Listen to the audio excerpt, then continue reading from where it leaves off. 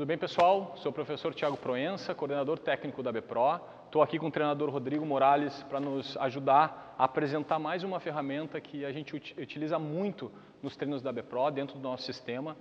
E o trenó é algo que, se vocês pararem para pensar, quando se abrem novos estúdios ou quando alguma academia começa a introduzir o treinamento funcional, começa a se aplicar, colocar grama sintética, começa a criar uma pista e uma das coisas que se usa bastante é o trenó. Então é muito característico do treinamento funcional dentro das academias ter essa pista e um trenó normalmente está lá, ou se não for assim é uma caixa, alguma coisa para empurrar, para puxar, enfim.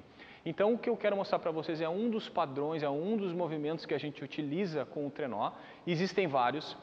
É, a gente vem utilizando vários padrões com pessoas comuns, outros padrões com atletas, que não são utilizados com pessoas que não são atletas, por uma, enfim, a gente é, são padrões mais complexos, são exercícios mais complexos que essas pessoas, em determinado momento, dentro das fases, elas não vão conseguir, quem sabe, fazer com tanta qualidade.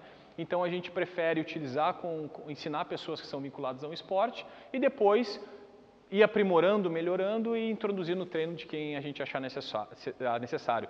Lembrem sempre, o que a gente sempre fala na BPRO, nos cursos da BPRO, é o professor é a chave fundamental no processo. Então, tudo que tiver no papel, se tem um sistema e diz que é assim, assim, assado, o professor tem que ter a capacidade, o feeling de modificar, de trocar, de colocar coisas novas, enfim, dentro de um sistema onde não perca a identidade, a filosofia de treinamento que vocês estão utilizando dentro da academia de vocês, como personal, enfim. Então, o trenó a gente utiliza empurrando ou puxando. O que eu vou mostrar para vocês agora é empurrar o trenó.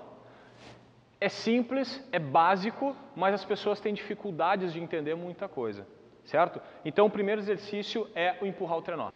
Então o posicionamento inicial aqui no trenó para empurrar é o seguinte. O Rodrigo vai pegar com as duas mãos, ele vai, primeiro momento, pensar nas ativações, aquela que a gente já viu em todos os padrões, dorsal, manutenção das curvaturas. Pode ver que ele está numa posição mais deitado, ele não está nessa posição, ele está nessa posição, quadril para trás, como se fosse um hip hinge.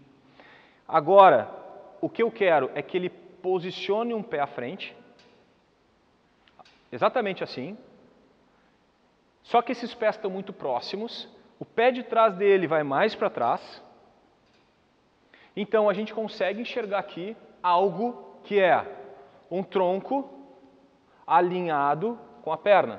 Só troca a perna um pouquinho, Rodrigo, para agora a gente ver o outro lado. Então, se vocês olharem, eu tenho um alinhamento que começa lá de cima, lá embaixo.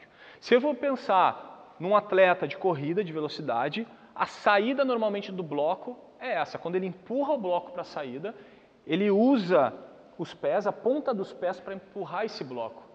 E é esse o objetivo que a gente tem aqui. Se a gente utiliza isso com o atleta, mais importante ainda, porque o atleta necessita correr, trocar de direção, então ele precisa aprender a empurrar o chão e se deslocar. Uma pessoa comum, além disso, de usar as alavancas, ela está aprendendo a essas ativações, ao abdômen, glúteo, posição da cabeça. Então, se eu for ver daqui a pouco a pessoa empurrando um carro, por exemplo, é isso que ela vai fazer. É isso, exatamente isso que ela vai fazer. Então, o que o Rodrigo vai fazer agora é deslocar. Como? Ele vai começar a empurrar o trenó, não com a mão, porque o cotovelo dele está estendido, ele não vai conseguir empurrar. Ele tem que usar a ponta desse pé, inicialmente, e empurrar deslocando. Vocês podem ver que ele está sempre na ponta do pé, sempre na ponta, e eu não tenho movimento lombar. O que eu tenho aqui é uma manutenção de postura, estendendo o joelho, quadril. Então, normalmente na pista a gente vai e volta. E é isso que eu tenho que enxergar. O que eu não quero é isso, ó. Esse movimento. Para aí, Rodrigo. Para na posição onde está com a curvatura. Aí. Isso acontece normalmente quando o Rodrigo dá uma passada maior do que ele deve. Quando ele tem uma passada maior, ele tem uma maior flexão do quadril dele. Automaticamente, se ele tem uma pouca dissociação da lombar com o quadril, ele faz isso. Então, ele precisa diminuir essa passada para alinhar a postura dele e manter a curvatura lombar. Então a passada ela é uma passada curta. Vai lá. É uma passada curta, mas não muito curta. Dá bem curtinha, Rodrigo. Não é isso, não precisa. Aumenta agora, normal. Isso, relaxa. Aonde ele consiga manter as curvaturas, aonde ele consiga manter o posicionamento. Lembrem, se eu for pensar em tudo, fica na posição de prancha. Se a gente levar isso para um kettlebell, se a gente for levar isso para qualquer outro exercício de força, as manutenções, e o Rodrigo, que é um levantador de peso, que é um powerlifter, então ele faz bem isso, levanta bastante peso. Então, quando ele puxa um peso do chão, por exemplo, ele vai parar, põe a mão na posição da, da, terra, ele termina nessa posição. E essas conexões abdômen, dorsal e postura é a mesma. Ali, Rodrigo. Põe para frente um pouquinho. Isso, relaxa. Que ele tem que estar tá aqui. Abdômen, dorsal, ombro, tudo igual. Então, todas as transferências de um exercício para outro, elas, outro, elas acontecem.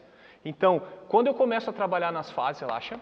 Quando eu começo a trabalhar dentro das fases, fase 1, 2, 3, 4 e 5, o aluno vem progredindo, entendendo e transferindo de outros padrões para outros padrões.